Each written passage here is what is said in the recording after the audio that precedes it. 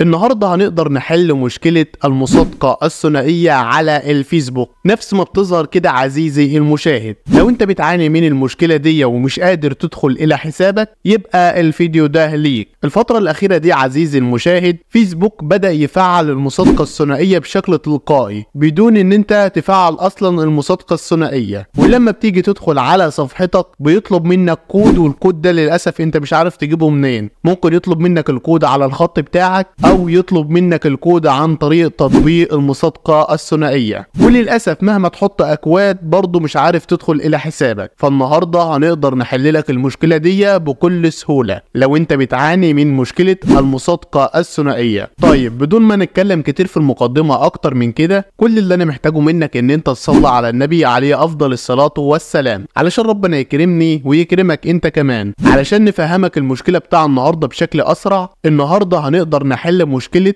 إن الكود مش بيوصل على الخط بتاعك أنت. علشان تقدر تدخل الرقم ده وتقدر تدخل إلى حسابك مرة أخرى. فتابع الشرح للنهاية علشان تستفاد. ولو أنت لسه بتعاني من المشكلة دي يا ريت تكتب لي comment في التعليقات وبإذن الله هرد عليك في أسرع وقت. ويلا بينا؟ يلا بينا. زي ما أنتم شايفين كده كاتبين رقم التليفون وكلمة السر وعايزك تركز في رقم التليفون ده لأن ده إثبات إن إحنا بنقدر نحل المشكلة دي اللي بقت بتظهر على معظم الصفحات.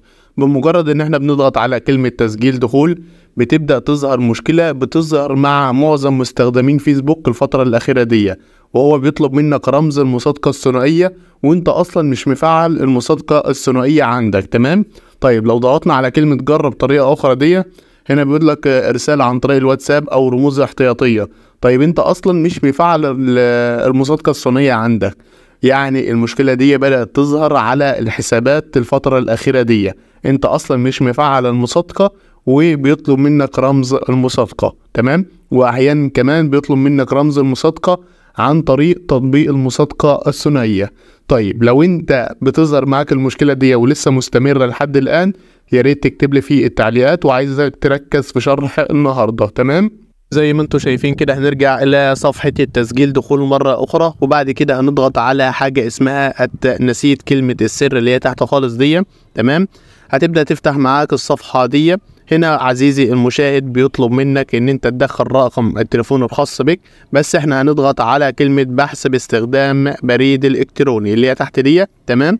هنا بقى عزيزي المشاهد هتركز معايا بعد إذن حضرتك تمام؟ هنا هنحط اسم صفحة الفيسبوك اللي هي إحنا عايزين نفتحها تمام؟ فإحنا دلوقتي هنضغط على اسم الحساب زي ما أنتم شايفين بعد كده هنضغط على متابعة تمام؟ الموضوع سهل جدا وبسيط جدا جدا. بيبدأ يفتح لك معظم الصفحات اللي هي بنفس الاسم تمام؟ فإحنا دلوقتي هنبدأ نختار الصفحة اللي إحنا عايزين نفتحها صفحة الشخص اللي إحنا عايزين نفتحها تمام؟ فإحنا دلوقتي هنختار أول صفحة اللي هي المرادة اللي إحنا عايزين نفتحها هنضغط عليها بالشكل ده. بيبدأ يفتح معاك الصفحة بالشكل اللي أنتوا شايفينه ده. هنضغط إحنا على كلمة جرب طريقة أخرى. بعد ما تفتح معاك الصفحة دي هنا بيطلب منك عدة مراحل فإحنا دلوقتي هنبدأ نضغط على آه إدخال كلمة السر للتسجيل دخول اللي هي تحت دي هنبدأ نضغط عليها وبعد كده هنضغط على متابعة. هنا بيطلب منك كلمة السر الخاصة بصفحة الفيسبوك فإحنا دلوقتي هنبدأ نعمل لصق لكلمة صفحة الفيسبوك.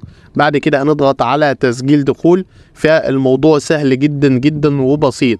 بمجرد إن أنت بتظهر معاك الصفحة بيتم تسجيل دخول وموضوع سهل جدا جدا وتم تسجيل صفحة الفيسبوك زي ما أنتم شايفين كده. بمجرد إن إحنا نضغط على الصورة وبعد كده هنضغط على الاسم هتلاقي نفس الاسم اللي أنت شفته في بداية الفيديو. ده الاسم اللي إحنا فتحناه عزيزي المشاهد. فالموضوع سهل جدا وبسيط جدا جدا وتقدر إن أنت تنفذ الطريقة دي خطوة بخطوة. ولو ما عرفتش تنفذ الطريقة دي وعايزني أنا أحل لك المشكلة دي تقدر تتواصل معايا وإن شاء الله هنقدر نحل لك مشكلتك في أسرع وقت. يعني في خلال عشر دقايق ويمكن أقل كمان تمام؟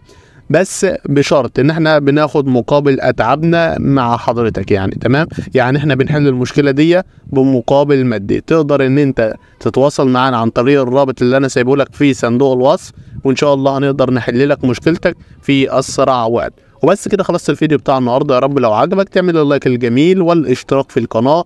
وأهم حاجة ما تنساش إن أنت تصلي على النبي عليه أفضل الصلاة والسلام. وبس كده سلام.